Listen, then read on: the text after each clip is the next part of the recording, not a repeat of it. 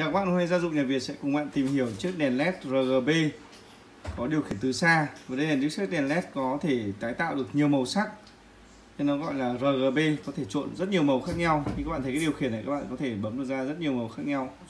Mẫu đèn này cũng có nhiều kích thước và công suất khác nhau. Đây là chiếc bóng đèn 5W có đuôi là E27 và mã là A50 điện áp của chiếc đèn này điện áp giải rộng từ 85 cho đến 265V đóng gói thì nó sẽ có bóng đèn và đi kèm là điều khiển từ xa.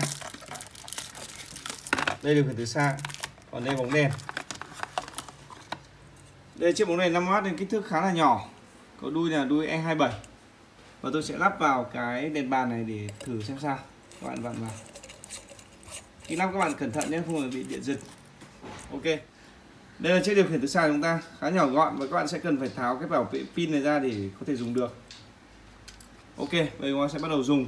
Trên này thì sẽ có nút tắt và mở. Muốn mở đèn ta sẽ gì ạ? Bấm mở đèn.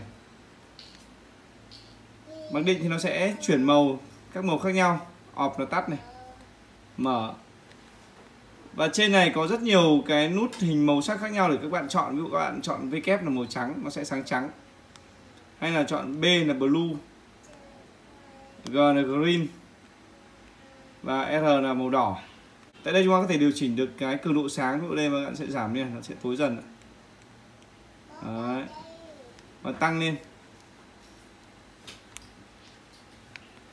Tiếp theo chúng ta có thể sang cái màu khác, ví dụ đây màu xanh này. Nó trộn màu. Màu hồng này. Màu vàng này. Do camera này nó được tự động điều chỉnh cái ánh sáng nên nhiều khi là nó sẽ không đúng, nhưng thực tế thì nó màu khá đúng.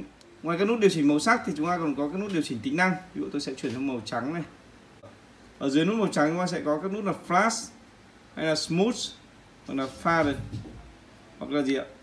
Hoặc là shower ví dụ các bạn muốn đèn nháy kiểu như đèn ở sân nhảy hạn, vũ trường ấy, thì bạn sẽ bấm shower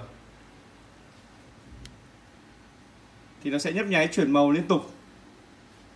Mỗi một lần nhấp nháy lại sang cái màu khác. Các bạn muốn chuyển nhẹ nhàng các bạn bấm fader nó sẽ tự động lần lượt chuyển các cái màu khác nhau rất là êm thuận. Còn smooth này là chuyển nhanh hơn một chút. Còn flash là nó sẽ nháy rồi chuyển qua. Thì tùy vào nhu cầu các bạn có thể chọn các cái thể loại chuyển màu khác nhau. Bốn nút này đều là chuyển màu. Để tìm hiểu kỹ hơn về chiếc đèn led RGB số đuôi E27 các bạn có thể truy cập trang web gia dụng nhà Việt.com Cảm ơn các bạn theo dõi, xin chào và hẹn gặp lại.